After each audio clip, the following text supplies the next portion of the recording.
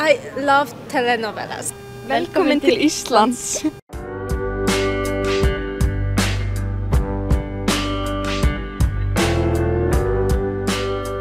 En nuestro último video de la serie de Suecia, dejamos entrever que nuestros pensamientos viajaban mucho más al norte del continente europeo.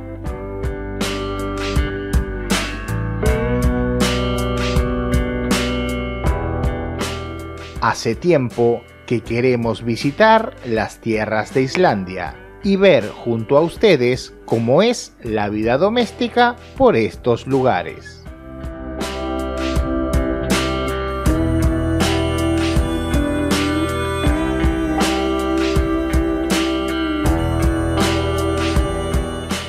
Se podría pensar que venir en estas épocas del año a tales latitudes es una idea no muy inteligente, pero como siempre lo que nos mueve es conocer lo auténtico del lugar.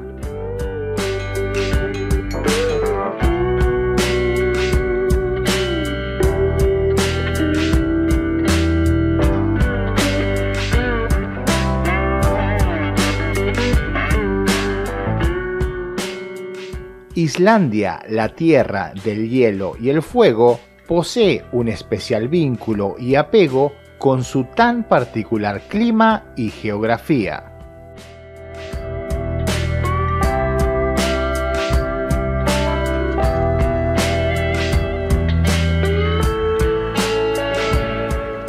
El inicio de la temporada invernal sería el mejor momento para descubrir el matrimonio de su población con la isla.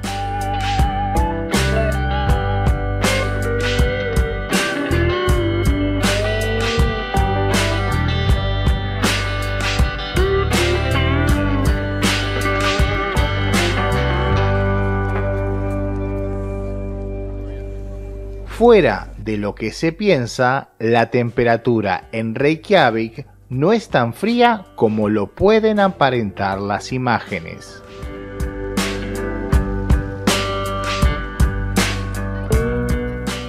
La temperatura promedio todo el año ronda los 0 grados.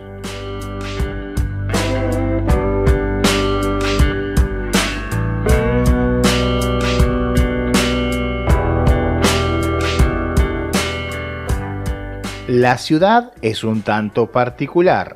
En apenas unas cuadras se logran ver una mezcla de espartanos edificios de chapas coloridas.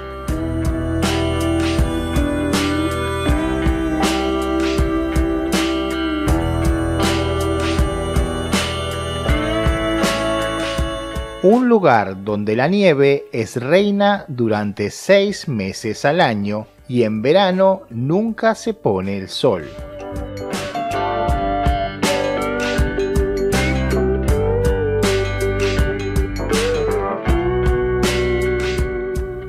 Aquí se concentran casi dos tercios de la población nacional.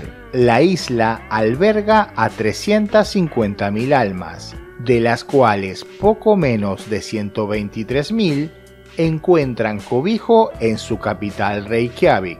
Uh, so, yo comprendo todo, pero habla un poquito. uh, so, the best I think is the lifestyle. It's like people like cool, like no stress, don't worry. Si les preguntas a los isleños que suelen tener un permanente buen humor, te dirán que su capital es simplemente un pueblo,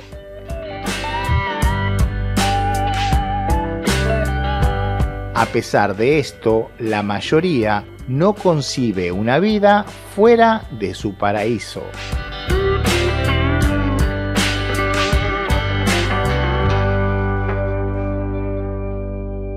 En esta isla perdida en el Mar del Norte y a 700 kilómetros de su vecino más próximo, desconocida para casi todos y famosa para unos pocos, pero solo por sus paisajes únicos, se sabe poco y nada de sus residentes, sus vínculos y sus inmensos logros en bienestar social y económico.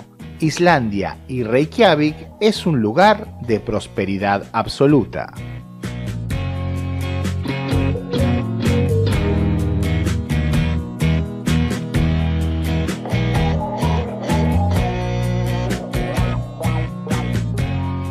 La vida en la ciudad es una combinación poco común de laboriosidad y tiempo libre.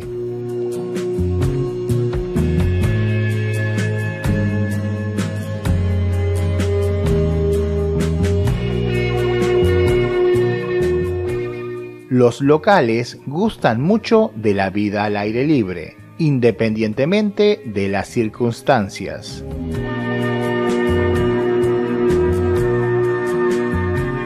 La calle suele ser un fiel testigo del ímpetu y la chispa vikinga.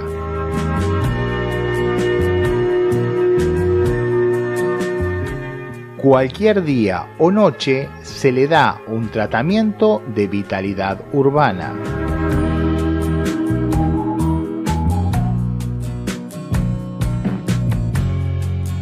La vida cotidiana es bastante costosa, sobre todo para aquellos que no somos hijos de deidades vikingas.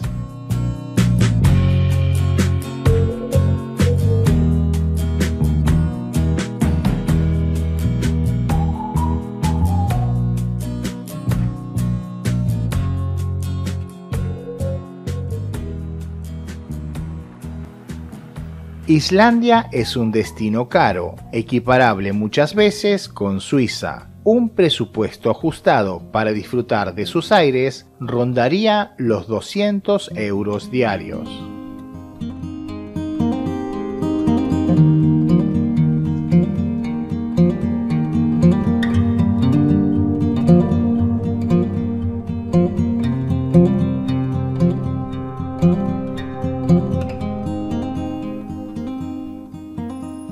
Aquí parece todo funcionar el transporte público es eficiente y sorprende con su alcance, muy a pesar de tan magra población.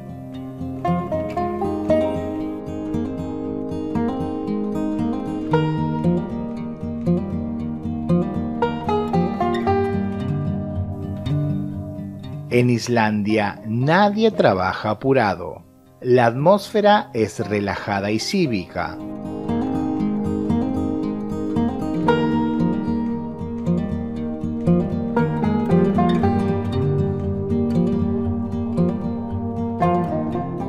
No hay mayores controles si es que los hay, y la seguridad es una constante que se disfruta a todo momento.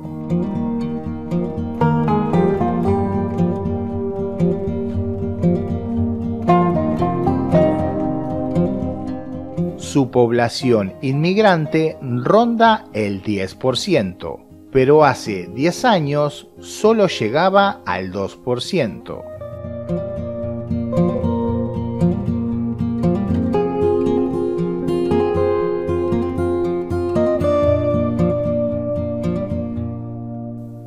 Los islandeses valoran mucho el aporte inmigrante, al punto que el pequeño gran país es considerado el más amigable del mundo para los inmigrantes. Oh yeah, tacos, that's my favorite food.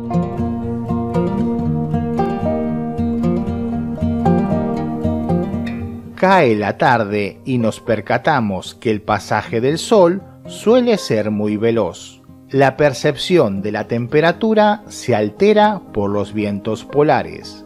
Para un isleño la temperatura es la que es, pero para nosotros los foráneos nos parece mucho menor.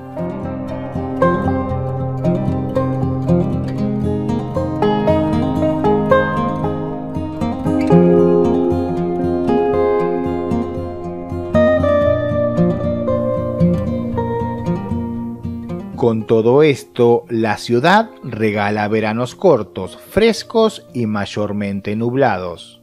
Los inviernos suelen ser largos, muy fríos, nevados y ventosos. La temperatura rara vez y excepcionalmente baja a menos 8 grados, o sube a más de 17.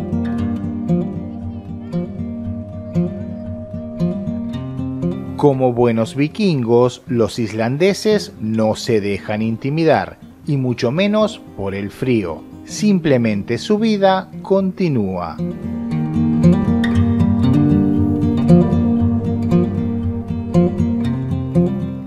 Increíblemente, su vínculo con el agua y las playas se mantiene todo el año, pero a eso le dedicaremos un entero y único alegre video.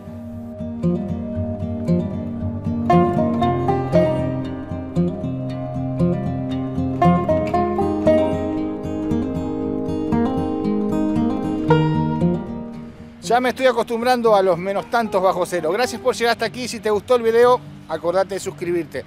Nosotros nos vemos en este contenido que te dejo por aquí o dentro de muy muy poquitos días en otro video. Chao.